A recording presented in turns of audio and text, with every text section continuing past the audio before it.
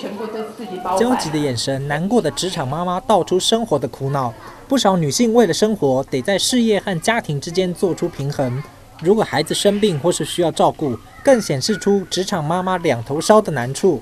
因为哥哥在去年的时候就去念幼稚园，那他念幼稚园之后，我就把小，因为小的比较健康，现在给保姆带。然后我自己现在就去找了一份就是行政职的工作，因为还是下午五点的时候要去接哥哥就下课。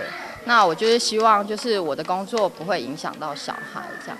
根据求职网站调查发现，有高达八成的职场妈妈是为了分担家计外出工作，而蜡烛两头烧的结果，使得和小孩相处的时间变少，也让七成四的职场妈妈觉得会有罪恶感。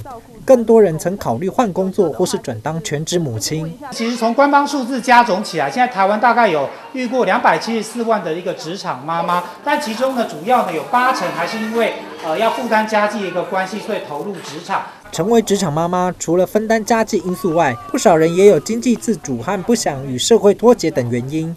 但职场妈妈最辛苦的地方是下班后还得继续做家事。